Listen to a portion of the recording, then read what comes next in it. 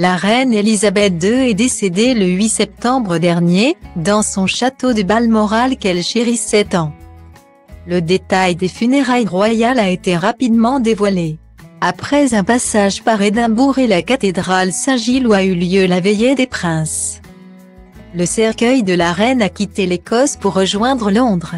Ce mercredi 14 septembre.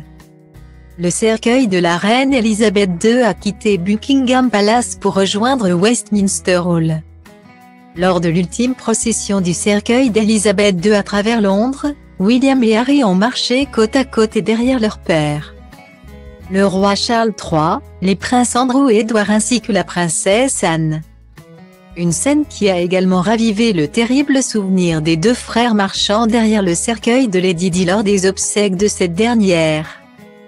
La reine consort Camilla, Kate Middleton et Meghan Markle suivaient, elle, en voiture. Ce n'est qu'au sein de Westminster Hall, où a eu lieu une cérémonie religieuse conduite par l'archevêque de Canterbury. Que les couples se sont retrouvés, derrière le cercueil plombé de la monarque défunte. Les images filmées par la BBC ont capturé le chagrin vif des membres de la famille royale. Et également une entorse au protocole qui aura sans doute fait grincer les dents. Datalink People égale à 8 à 23e 5 BC 482 C 4 A 4 à 8 à A0 à 2 499 282 C 8 FDD Meghan Markle et le prince Harry à l'inverse des autres couples de la famille royale sont sortis de Westminster Hall en se tenant ostensiblement la main. Et parmi les faits remarquables et inattendus, la BBC a également dévoilé les images d'un garde qui s'est évanoui au pied du cercueil de la reine alors que les Britanniques avaient déjà commencé à défiler devant sa dépouille pour lui rendre hommage. On découvre que l'infortuné n'est pas secouru par les gardes à ses côtés qui ne peuvent bouger, mais par deux personnes qui se précipitent pour lui porter secours, peu avant de s'évanouir.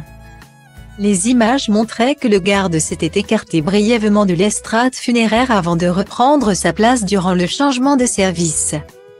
Quelques instants plus tard et de retour devant le catafalque, c'est le malaise et la chute violente au sol. Devant une assistance pétrifiée, la couverture du direct a été momentanément arrêtée. Jusqu'à ce qu'assistance lui soit apportée. Sur les réseaux sociaux, l'image est devenue virale et les internautes compatissants et inquiets espèrent sans certitude qu'il se porte mieux.